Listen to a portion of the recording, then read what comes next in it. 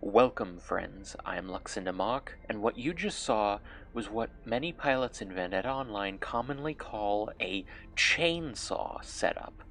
And how it works is you just use a ship with three or four, sometimes two ports, but you generally want something with more ports, which is one of the rare times you'll ever find a use for a Hornet. Personally, you'll go ahead buy one of these, go over to small add-ons, and the weapon that makes it work is the charged cannon.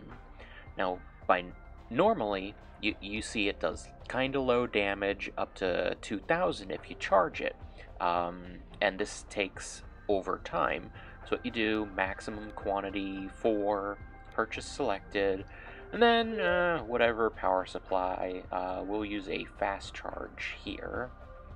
Let's go ahead and just plot to an empty sector and so normally when you use a uh, charged cannon, what happens is you press and hold, your energy depletes pretty quickly because there are four, and then all of the weapons fire at once. However, if you just rapidly press it, it acts a lot more like one of your regular neutron cannons or ion cannons or whatever you want. They can fire extremely fast. And so what you want to do, open up your PDA, go to your ship tab, and what you generally want to do, at least for the way I have it set up, is make sure only one of these are actually on a trigger. Save group, go to the next one, remove anything that's there, go back to primary trigger, set your next one, Keep doing that so that everything has one trigger per group key. Now use the plugin or alias that you have set up for what is called chain firing. Um, for me, I am using an alias given to me by Look No Hands. Um, I also there's also a plugin from Voper that I've linked below. It will behave differently than this, I believe.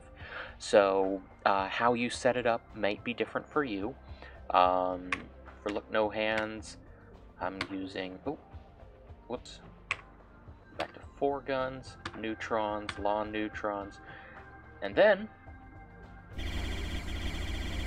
It fires all of them in a row with very little energy loss and each of these bolts does 400 damage, and there's so many of them that you can rack up a lot of damage on a target really quickly. There is Charge cannons aren't the heaviest weapon, but you do generally have to put them on heavier ships, so don't be counting on using this in regular fighter matches. However, as you saw um, in the previous part, uh, I was able to take down a behemoth uh, fairly quickly, and for other larger, slower ships, it can actually shred through them, hence how it gets its name as a chainsaw setup. So how does chain firing work? Why is it so powerful? You'll notice that um, when you're being trained by pilots that um, chain firing is something they'll bring up. Um, it's a pretty common occurrence even without using the charged cannons. And so, for by default, when you use your weapons, you generally fire in volleys like this, right?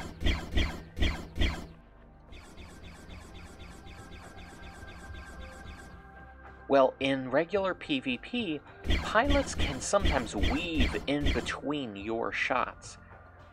And that's why chain firing is so powerful. You are closing the gap between every single shot.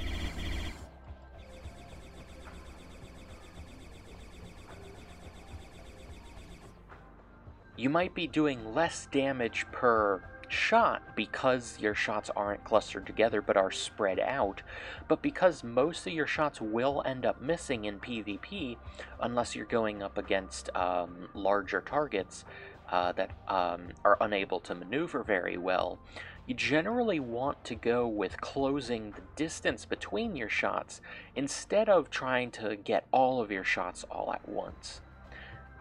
And then, of course, there's always the charge cannons being able to unleash the shot damage all at once, but you don't generally see charge cannons used like that very much because they don't have very much of an auto aim area, and they're the damage output versus the time you have to hold down the weapon makes it kind of unwieldy. And so that wraps it up for this uh, tutorial on how chain firing works and how to use a chainsaw setup. Uh, I hope you enjoyed the video, and I'll see you next time.